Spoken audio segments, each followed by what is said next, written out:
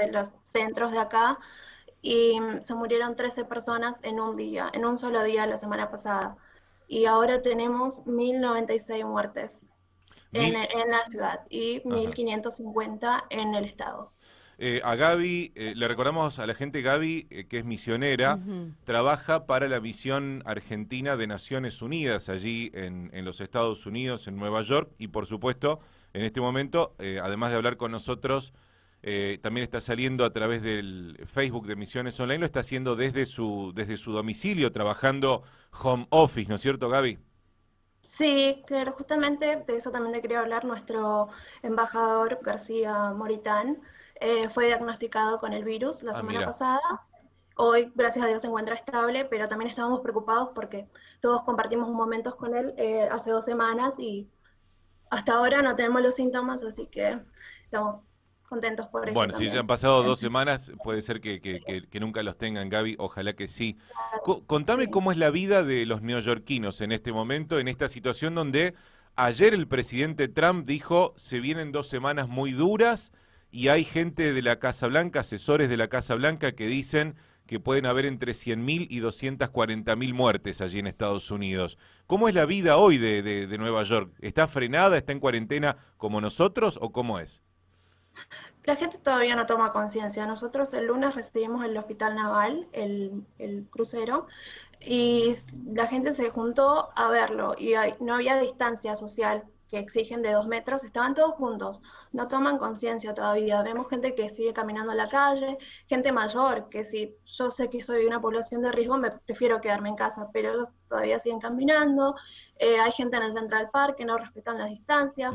Eh, ahora las policías también están eh, tratando de ver los parques, los, las plazas, para ver que no se junte gente, porque también hay, hay jóvenes que están jugando al básquet, que todavía no caen, no son conscientes del de la magnitud de este problema. Central Park se ha establecido como una especie de hospital de campaña. También he visto que han puesto carpas, que hay, que hay camas, que hay personal médico allí.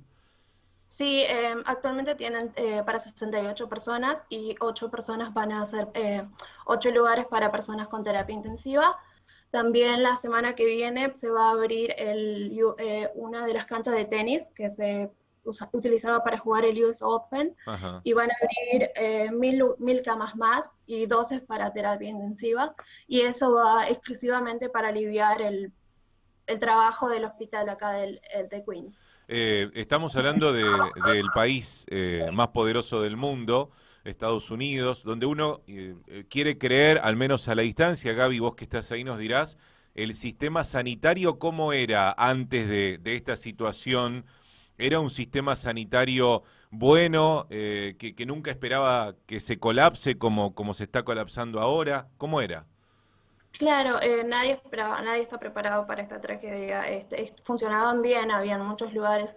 Eh, ahora tenemos 50.000, el sistema tenía 50.000 camas y tienen que triplicar ese número para poder asistir a todos los habitantes.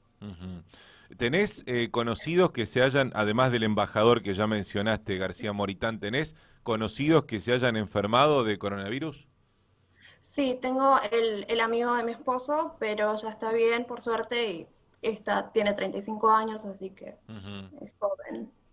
¿Cómo es eh, en Estados Unidos? Acá, por ejemplo, eh, en Misiones, Gaby, si una persona tiene síntomas, tiene que llamar primero a un 0800 que ha establecido la provincia para ser asesorado por los médicos y si los médicos lo consideran, bueno, esa persona tiene que asistir a un centro este, asistencial. En Estados Unidos van directamente, se sienten mal y van directamente al médico o también tienen que pasar por algún proceso previo.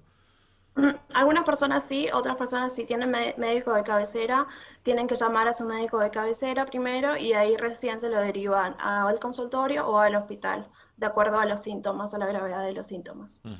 ¿La economía de allá está semiparada también o más o menos? Está semiparada, no está parada eh, todavía porque hay varios lugares que siguen abiertos, eh, los trabajadores de la construcción, las estaciones de servicio, todos esos este, están abiertos y sí, contribuyen un poco a la economía. Acá, por ejemplo, si vos salís con tu vehículo, Gaby, este, es muy posible que te pare la policía y te pregunte por qué estás circulando, que no se puede hacer, te piden algún permiso. En los Estados Unidos, en Nueva York, eh, ¿sucede eso también o la gente puede circular con, con total libertad por las calles de la ciudad? Eh, con el auto sí puede circular, no hay problemas. Ahora sí van a dar eh, multas de 500 dólares a las personas que no respeten el distanciamiento social. Si los ven, por ejemplo, en el parque que están sentados todos juntos, en grupo, ahí sí le van a dar multas.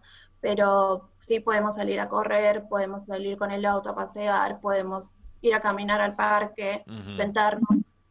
Eh, parece una cuarentena bastante, bastante light, este, Gaby, ¿no? Sí, considerando los casos que tenemos es bastante. ¿Y, y sabés cuándo eh, hay previsiones de cuándo se empezaría a normalizar allí la situación? ¿O todavía, este, como en realidad no, no, no han llegado a un pico, no tienen este, novedades de cuándo volverán, por ejemplo, ustedes a trabajar a donde, donde tenían sus oficinas? Mm, no, no sabemos. Es como vos decís, se espera el, peor de los casos en dos semanas y de ahí los casos irán disminuyendo. Y Suponemos que en mayo se empezará a regularizar toda la situación.